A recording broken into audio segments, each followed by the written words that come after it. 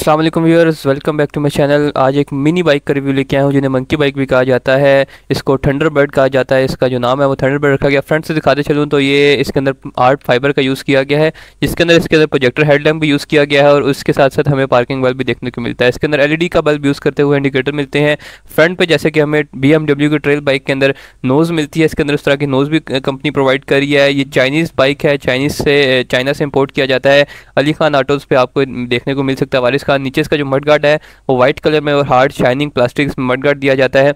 Tyres का अगर आपको बताता चलूँ तो इसके अंदर ट्यूबलेस टायर्स आते हैं और उसके साथ साथ इसके अंदर स्पोक्स वाले टायर हैं फ्रंट पे और जो ब्रेकिंग सिस्टम है वो हमें किसी किस्म की यहाँ पे ड्रम वगैरह सिंपल ब्रेक नहीं मिलती। इसके अंदर हमें डिस्क ब्रेक देखने को मिली है जो कि हमारे लोकली जो होंडा के बाइक्स उनमें भी देखने को नहीं मिलती, जिस तरह के वन टू फाइव वगैरह जैसे कि बाइक फुल इलेक्ट्रिक है, इसके अंदर आपको यहाँ पे बैटरीज वगैरह देखने को मिलती है। इंजन और फ्यूल वगैरह सिस्टम इस बाइक के अंदर नहीं है। इसके जो शॉक्स वगैरह हैं, वो भी सारे हैवी मेटल के साथ इसमें दिए गए हैं। कंफर्टेबल ये बाइक है। अगर आपको मैं ऑन करके दिखाता चलूँ तो सबसे पहले ये एक ब्यूटीफुल डिज़ाइन में हमें डिजिटल डिस्प्ले देता है। पार्किंग का यहाँ पे दिखाता है कि इसके अंदर कौन सा इस वक्त गेयर है। इसके साथ साथ आरपीएम मीटर और स्पीडोमीटर इसके बाइक के अंदर अवेलेबल है।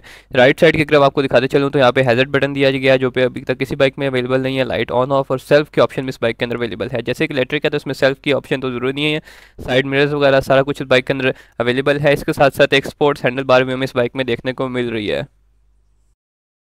जैसे कि इसको स्टार्टिंग का सिस्टम और इसकी कितनी माइलेज वगैरह प्रोवाइड करता है चार्जिंग के ऊपर, वो सारा आपको बताता चलूँ। तो सबसे पहले आपको दिखाऊँ तो राइट साइड की ग्रिप में हमें हैजर्ड बटन देखने को मिलता है, जो कि डबल इंडिकेटर है। बहुत से लोगों को मैं पहले भी इसका बता चुका हूँ पिछले क्लिप में, लेकिन इसमें हैजर्ड बटन है इसके नीचे जो सेल्फ स्टार्ट की जो ऑप्शन इन्होंने एक सेल्फ स्टार्ट की दी हुई है। अगर आप इस बटन को दबाएँ तो ये खुद ही स्टार्ट हो जाएगा। इसमें किसी किस्म की आपको गेयर वगैरह डालने की ज़रूरत नहीं, आप इसको जितनी रेस देंगे उसके साथ साथ गेयर चेंज करेंगे, उस तरह उसका सीन है।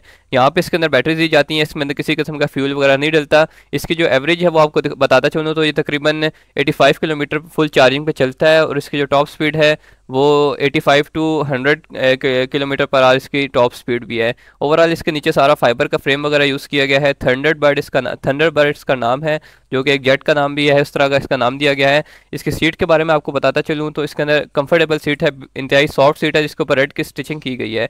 दो बंदे भी इजीली बैठ सकते हैं, लेकिन ये बाइक सिंगल पर्सन के लिए बनाया जाता है तो इसमें एक बंदा इजीली बैठ के राइड कर सकता है। नीचे भी फाइबर है। बैक पे अगर आपको दिखाते चलूँ तो स्पोर्ट्स बार्स दी गई हैं, पीछे मेटल की। अब अगर बैक लुक से बाइक दिखाता चलूँ तो इसके अंदर हमें सिंपल लाइट दी गई है, जिसके अंदर एलईडी बल्ब यूज़ हो रहे हैं।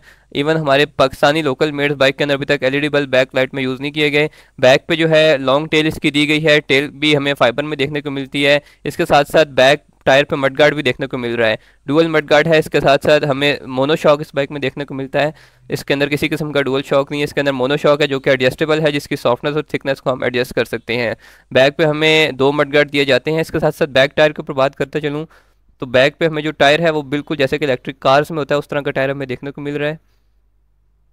और जो बैक पे फ्रेम है ओवरऑल वो सारा मेटल में दिया गया है। मेटल का फ्रेम है और बैक पे भी हमें जो ब्रेक्स हैं, वो डिस्क ब्रेक देखने को मिलती हैं। बारह जो, बारह का साइज़ जो टायर है, वो उस बाइक में देखने को मिल रहा है, बारह इंचज़ का टायर इस बाइक के अंदर हमें दो कलर्स देखने को मिलते हैं एक्स्ट्रा जो कि ग्रीन और ब्लैक के कॉम्बिनेशन में और एक फुली ब्लैक कलर और जिसका रिव्यू मैंने किया वो आपको वाइट कलर देखने को मिलता है।